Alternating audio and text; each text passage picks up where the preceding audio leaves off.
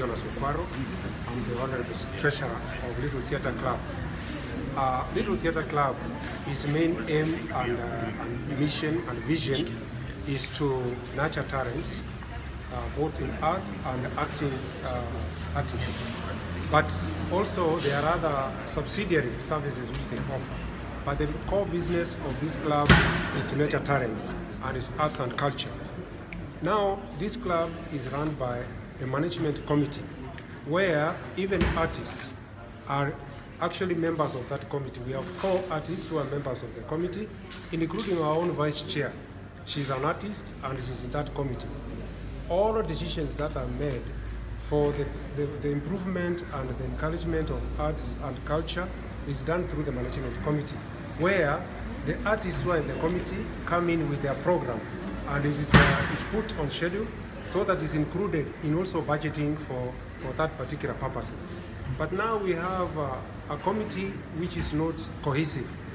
We have a committee where two people, the chairman and the honorable secretary, have chosen to take another path and the rest of the committee is taking another path. New Dennis Mindes Club. These are members, we have over 100 members who own this club. And the majority of these members are the artists behind me here. These are young men and women who want to grow talent in their life. Some of them, this is their income. They get income from this.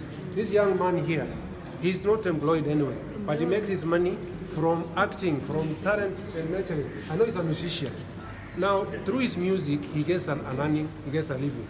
But if we want to do things the way they are being done, we are discouraging these people. You have heard an artist say that they were actually chased away.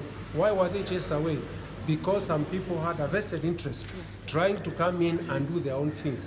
When these people come to do any theater and related jobs in this club, they are actually, and yet we are saying that we are naturally talent.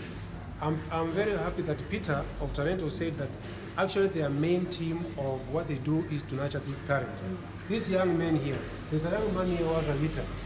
He has been coming here and he cannot do his job. He's here. He cannot play his guitar. We have a, a piano there. He cannot practice because he's told you are not a member of this club. Why? The government pumped in 50 million to do to improve this club, improve the facilities, so that these young of the people can also come and nurture their talents. Mm. So we welcome Tarento.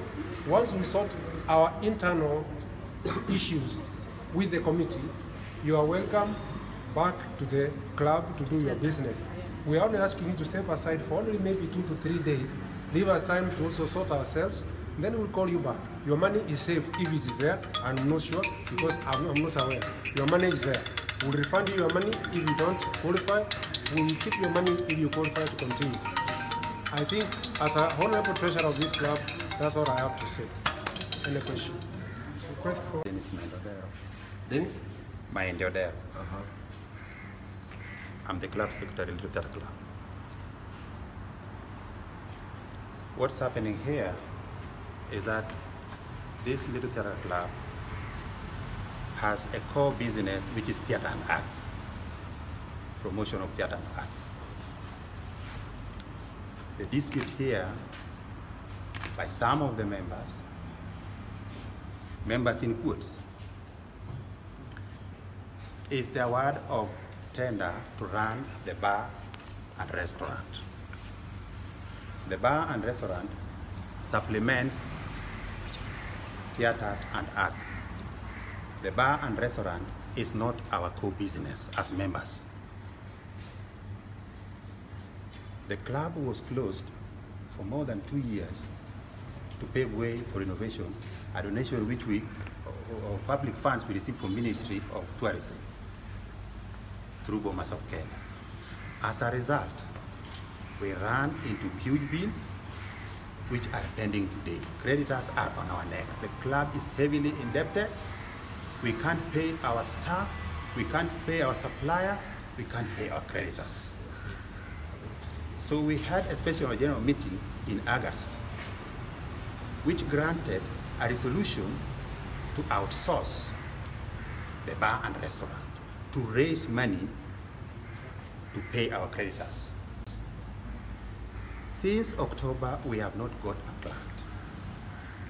We had revised the tender document for rent from 250,000 to 200, and lastly to 150,000. Last month, we reduced the rent and floated the tender. It was open, any member would apply. Based on the terms, you would get the tender. We were lucky this time round to get MS Talentos Beach Resort. Paid a total sum of Kenya shillings 500,000. They went further to commit a further 2.9 thousand, being A million.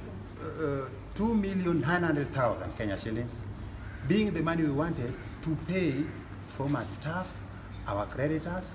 We have not paid security for almost, I don't know, one year. Uh, the workers are at the labor court.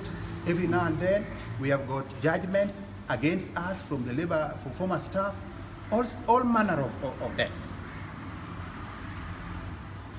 Before we floated this tender, we agreed amongst the committee that for the club to get a strategic partner to come and invest in the bar and restaurant business, we would run it as a committee and we gave it to one of us to keep it warm because nobody would want to take a space which is dead.